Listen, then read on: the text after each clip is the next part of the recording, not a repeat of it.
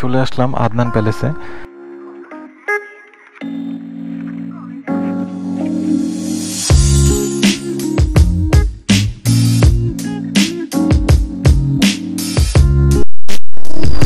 তো এখানে যেটা হচ্ছিল যে বোটিং করা যায়, বাচ্চাদের জিনিসপত্র সে তো খুব চলে আসলাম আদনান প্যালেসে। আর আমাদের আজকের ডেস্টিনেশনের মধ্যে হ্যাঁ এটা একটা ছিল। আজকের ডেস্টিনেশন হ্যাঁ এটাই আদনান প্যালেস তো ভিউয়ার্স সবাইকে ওয়েলকাম করছি আদনান প্যালেস থেকে। আর আমরা যাচ্ছি মৈনটঘাট রাস্তাপথে আদনান প্যালেসে একটা বিরতি নিয়েছি এই হচ্ছে হলো আদনান প্যালেস তো প্যালেসটা চারপাশটা অনেকটা এরকম। আর এখানে কি আছে আমাদের সেরকম জানা নেই। তো এখন জিনিসটা এক্সপ্লোর করব। যে এই জায়গায় কি আছে এবং কি কি দেখার মতো জিনিসপত্র আছে সব কিছু আপনাদের সঙ্গে শেয়ার করব। এটা নারায়ণগঞ্জের সরি এটা হচ্ছে হলো আপনার নবাবগঞ্জের অন্তর্গত আদনান প্যালেস। প্যালেসটা হচ্ছে হলো ঠিক উকিলবাড়ির আগে মৈনট ঘাটের আগে পড়ে। তো এখানে যেটা মনে হচ্ছে যে প্যালেসটা বেসিক্যালি বাচ্চাদের অনেক খেলার জিনিসপত্র আছে এখানে। লেটস এক্সপ্লোর আর একটু এক্সপ্লোর করে দেখি কি আছে।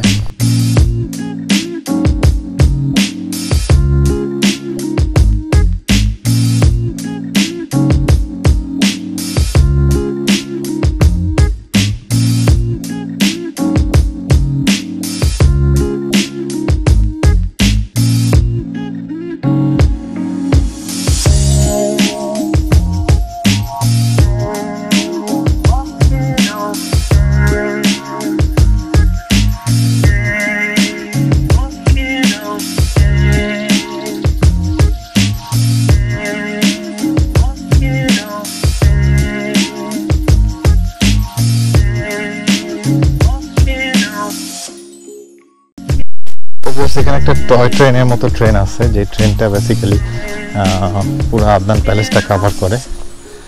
আর ছোট্ট একটা রেল লাইন রেল লাইনের মধ্যে ট্রেনটা চলে। বেসিক্যালি আদনান প্যালেস আমার যেটা মনে হলো এটা আসলে বাচ্চাদের জন্য ভালো একটা প্লেস তো ঢাকা শহরে আসলে বাচ্চাদের ওরকম খেলাধুলার জায়গা নেই। দ্যাটস ওয়াই এরকম একটা প্লেস তৈরি করা হয়েছে। আর প্লেসটা শহর থেকে অনেক দূরে। খারাপ না ভালো। এখানে আসলে প্যালেসটা আমার দেখার ইচ্ছা ছিল। কিছু আর্কিটেকচারাল জিনিসপত্র যদি দেখতে পেতাম তাহলে আমি সেক্ষেত্রে মনে করতাম যে আমার পয়সাটা উসুল হয়েছে। অর্থাৎ এখানে আসাটা সার্থক হয়েছে। বাট এখানে যেহেতু আসলে বাচ্চাদের জিনিসপত্র সে তো খুব একটা মজা পাচ্ছি না। আর জায়গাটা এই জন্য খুব দ্রুত আমরা মুভ করব। সামনে দেখব, সামনে কি আছে।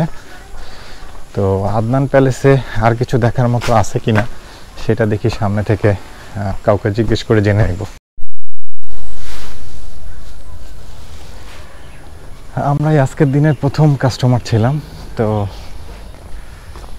দেখলাম মোটামুটি সেরকম কিছু নাই।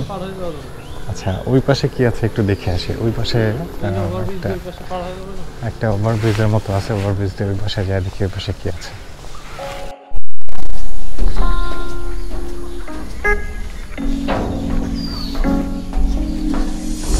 তো ভিউয়ার্স আমরা এখন ওপাশে যাচ্ছি। এটা ফ্লাইওভার তৈরি করা হয়েছে। সরি ফ্লাইওভার না ফুট ওভার ব্রিজ তৈরি করা হয়েছে। এই ফুট ওভার ব্রিজ দিয়ে ওই পাশে যাওয়া যায়। আর ওই পাশে যেটা বোটিং নাগরদোলা আরও কিছু অ্যাক্টিভিটিস করা যায়। তো দেখি আসি ওই পাশটা কেমন।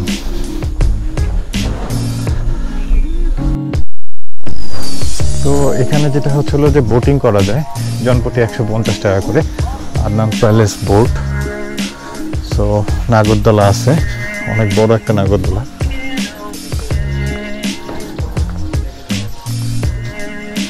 তো একসময় এই ইছামতি নদী ছিল, হচ্ছিল ঢাকা শহরের ব্যবসায়ীদের প্রাণকেন্দ্র।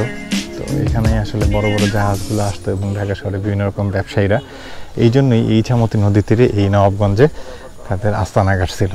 তো আদনান প্যালেস থেকে বিদায় নিচ্ছি। এখানে আর সেরকম দেখার মতো কিছু নেই।